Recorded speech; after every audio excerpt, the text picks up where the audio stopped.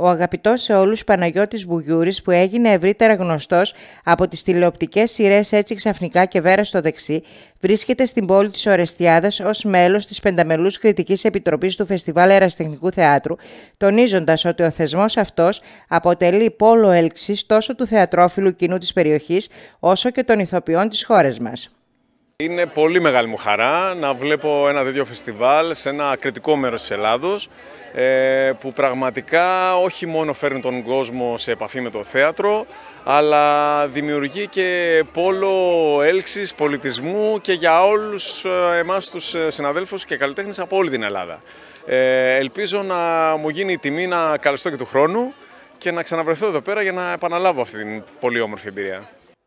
Ο Παναγιώτης Μπουγιούρης γεννήθηκε στον Πειραιά και μεγάλωσε στο Κερατσίνι, έχει καταγωγή από τη Σύρο και τη Βέρεια. Αν και ξεκίνησε τις σπουδές του στο τμήμα φυσικής του Πανεπιστημίου Αθηνών, τις εγκατέλειψε για να γίνει ηθοποιός. Σίγουρα το θέατρο είναι το πιο σημαντικό αντικείμενο της δουλειάς ενός ηθοποιού. Εκεί βρίσκονται τα μεγάλα σπουδαία κείμενα, οι μεγάλοι συγγραφείς. Ε, εκεί διασώζεται η τέχνη και η λογοτεχνία. Η τηλεόραση είναι ένα πολύ όμορφο μέσο, το οποίο μπορεί να δημιουργήσει πολύ όμορφες εικόνες και να δημιουργήσει πολύ ωραίο suspense παρόμοιο του κινηματογράφου.